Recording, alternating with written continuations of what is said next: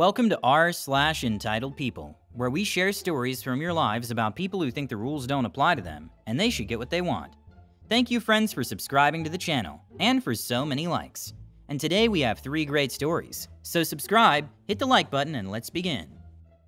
The first story Two neighbors think that because I did gardening and more for my former neighbor, that means said chores were included with their new house. The second story Karen tried to scam the store, got caught, called OP a slur, and was banned from the store.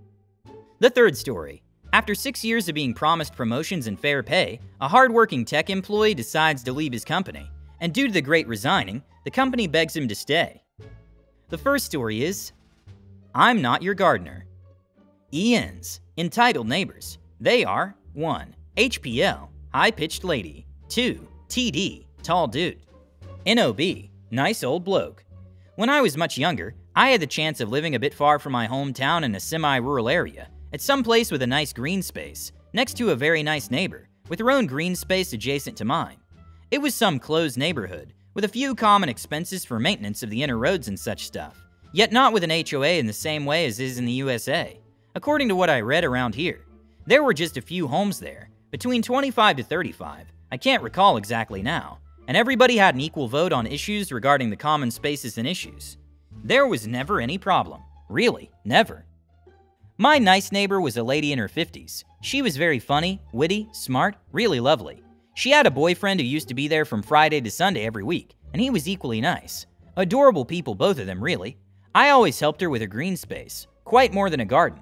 Whenever I took care of mine, which was quite often, I didn't mind helping her with that, since her boyfriend wasn't able to. It wasn't that easy for him to do that stuff since he had some back issues and was getting treatment for it, and for me it wasn't a big deal. And after all the tasty stuff she cooked and gave me, hey, try this, tell me if you like it, was a recurring sentence. It was the least I could do. Also, her two dogs were with me all the time when I was in her place, and they were adorable. Well, as it happens, one day they decided to move to some city quite a few hundred kilometers from there, and get married, so she put the house on sale. Some people came to see the house, which was beautiful, so I was doing the usual gardening work at her place when the couple who later bought the house were first visiting. I didn't pay much attention, but I remembered afterwards it was them because she, the girl in the couple, had a very distinctive voice, in a very high pitch, yet not unpleasant. Her unpleasantness would show later, but not regarding her voice. Also, her husband was very much taller than her, like two heads taller. TD, tall dude from now on. One day, my neighbor and her boyfriend said their goodbyes, left with me a few things to donate, the ones they couldn't take care of, some for me if I wanted. I didn't, save for one great cast iron pan that somehow they wouldn't take, and left. I was sad to see them go, but they were chasing a good fortune together, so I was also happy for them. Well, the new neighbors, ENs from now on, got there one day, and I had been told beforehand by the realtor, so I worked a bit on their green space in order for it to look nice. The ENs didn't say their hello, yet I didn't mind. They had their right to be less sociable than other people are, and unless they were annoying, I was okay with that. A couple days after they moved, I was taking care of the grass in my property, cutting some dried branches of a tree, plum, and other things, and HPL called me. I'm translating. Hey boy, when you finish there, you gotta do some work here too. The grass is quite grown and we have more stuff to do. I was a bit confused at first, but then I remembered that when they first visited, I was doing gardening stuff for my former neighbor, and that's why she must have thought it was my duty. I got close to her and explained to her that I was doing maintenance of my property, that I was friends with my former neighbor, and about her boyfriend's situation and why I was helping her. She said okay and went inside her house. A few days later, could have been three days, there was the monthly neighbors meeting. After a few issues were debated, mostly about a few bumps in the dirt roads, both ENs said they had an issue, and HPL said that I was refusing to do my chores, and that I should get a reprimand and not be paid in full. I was quiet and calm and was about to speak when another homeowner, who was aware of my relationship with my former neighbor, said he was never getting paid. He doesn't do any work for any of us. He was helping her neighbor, that is. I added that I had already told her that and that I explained to her my relationship with my neighbor, and her BF, and that I thought I made it quite clear. TD then said that when they visited the house, they saw me doing the gardening, and assumed that it was included with the common expenses, so it could be said they bought the property under those assumptions. At that moment, I was quite amused because the whole issue was ridiculous. I told them something like this, not the exact words. After these years, I can't recall every single term. I'm sorry that you thought my gardening came for free with the house. It came for free with the relationship I had with my former neighbor, and that's it. No one told you that I would be working for you for free, or under common expenses. and your own assumptions are just flawed, I'm sorry. At that point, HPL lost her temper and shouted at me that I was disrespecting her husband and her husband's authority. Huh? That I was rude and a bully, an accusation without any truth, and that I was purposefully refusing doing their gardening. After her screaming show, there was a very, very long and uncomfortable silence. I had never witnessed anyone shouting in those meetings, which were very amicable and quiet. So I broke the silence and told her, after what I'm going to say, I'll ask my new neighbors to explicitly point out in which ways I was, according to them, rude and a bully. I would also like to know in which ways I disrespected her husband and his supposed authority, and also which authority do they think they have over me. On the other hand, they're right. I purposefully refuse to do their gardening, and I'll assure you that I'll never do it, not even if they want to pay for it. They shut up and left before the meeting was over. Yes, we, the rest, stayed a bit afterwards talking about what happened. It was impossible not to. And then I went to the EN's neighbor, a nice old bloke, NOB, who invited me and a couple other homeowners over. He lived to the other side of the EN's. He offered his cappuccino, yay, or teas. He seemed to know a lot about tea. While there, I had this idea and I told him, hey, I can come a couple days a week for a little while to take care of your plants and trees. More like bushes, really, and I can have a cappuccino here. He agreed. I had a triple interest in this. One, the cappuccinos. Two, angering ENs, who will see I do some gardening to their other neighbor. Three, NOB's granddaughter, who is beautiful and I had already seen her around. It all went well. Cappuccinos were great, ENs were furious, and NOB's granddaughter ended up being a good friend of mine and introducing me to a friend of hers who would then become my girlfriend. Oh, I also had another interest NOB's library. He had great books and he lent them to me. Important note while the facts were as I wrote here, some words might not be entirely precise, because this happened more than 25 years ago and I can't recall every single word. The second story is Karen tried to scam the store, and after she got caught, called me a slur word and got banned. Fair warning, I'm a nerd, so I'll be using video game names for others to disclose names. Context I'm a male, 19, with mild autism, who had my first run in with a Karen at work. If my story's a little sloppy, I apologize for any mistakes. Cast, Mangle, me, K, you know what I'm talking about. AS, awesome son. GLaDOS, awesome manager. Lucky, BFF. Now on with the show. It was a typical afternoon at work where it rhymes with Waif Day, crowded as hell, and so on. I was working up front with bagging stuff for customers. One thing about me was I always liked making the paying people laugh, cracking corny jokes, prop comedy, etc.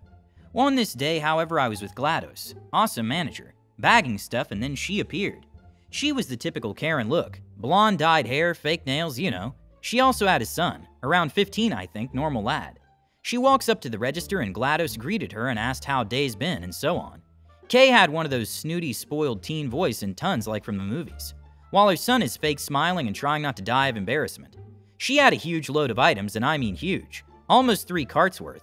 I'm bagging and it gets overwhelming, the son offers to help. I thought at least the son is more friendly than her, but Kay yanks him back. After that, the following conversation ensues. A.S. Ow, Mom. K. Don't help. Let them do it themselves. She sounded demanding and serious. GLaDOS. What the heck? Me. Rising anger level 1. GLaDOS. He was trying to help. K. No, he needs to learn not to be lazy. She says this pointing to me. Me. Rising anger level 2. Then Lucky, my BFF, enters and heard what's happening. Lucky walks by and sees my anger rising and pats me on the back to basically say, I'm right here in case anything happens. Two hours later, well, feels like it, all of Kay's stuff was in the carts and the price was way more than my normal paycheck. And now Kay gives GLaDOS her huge stack of coupons. GLaDOS scans them, but they were all coming back invalid, and GLaDOS tells her this and Kay goes off, yelling and screeching about horrible customer service and the usual Karen stuff. And AS steps in and told her he knew this wouldn't work. Kay screamed at him to keep his D mouth shut. At that moment, both me and GLaDOS's minds clicked and realized something was really fishy. GLaDOS checked the coupons and saw they were expired, but somehow the date was wrong. At least that's what I understood. Like they were all a year off.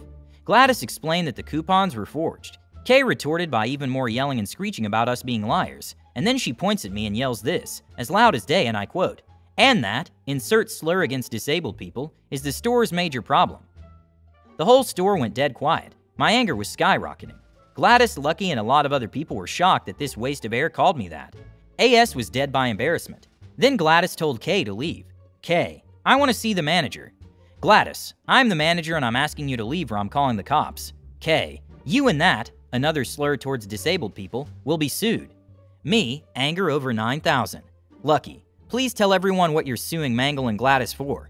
Lucky said this in a smug tone. Me, waiting to pull the anger trigger. Kay looks around at everyone staring at her. Um, Lucky, because I believe we have everything on camera with audio and hundreds of witnesses that would say otherwise. So it would be your best interest to scram and never come back. Or we can show the cops the evidence of fraud and forgery you tried to scam us with, and could be in jail for a long time. So what's it gonna be? Kay went ghost white and books it out of the store without AS. AS apologized profusely for his mom's behavior, and we all heard tires screeching as Kay squeals out of the parking lot, so we had to call the AS dad to pick him up. GLaDOS told me to go clock out for the day to heal up from that experience and got the next day off as well. Last I know, Kay was put on the watch list and was forever banned from the store. So the end, I guess. And the last story is The Great Resigning. As a long-time reader of this sub, when this situation happened, anti-work was the first thing I thought of. My mate worked for tech company for a few years. He was a very hard worker, always came in when emergencies happened, covered for anyone, just a genuinely good dude. He has a handful of kids and didn't make much, but was always on track to get promoted. That and the short commute is why he stayed, I guessed. First year reviews come around and he gets a great review and a 5% raise. Pretty okay. Two out of eight tech people let go, leaving the remaining six to do their jobs. Second gear reviews come around. He meets all goals and then some. Great reviews. But insert excuse here gets a 2% raise. No promotion. No prob, he says. Businesses have tough years from time to time. Two out of six tech people let go. Nobody hired to replace again. Third year rolls around, dude is excited for his raise and promotion they've been talking about. Insert another excuse, great review, but no promotion. 2% raise. And after hours pay would be cut in half when tech people took off hours calls from international offices, aka in the middle of the night, which he often was the only one to do. Two out of four tech people let go. I'm just glad I still have a job, he says. Fourth year rolls around. Management absolutely promises this guy a promotion. Management says we tried, but finance said no. 2% raise. Two people in tech department left to do the work of eight. Fifth year rolls around, COVID. No raises for anyone this year, says CEO on Zoom call from his second house. Management says he's now promoted. He has more work to do, but finance says no pay increase. The title change will look good on my resume, I guess.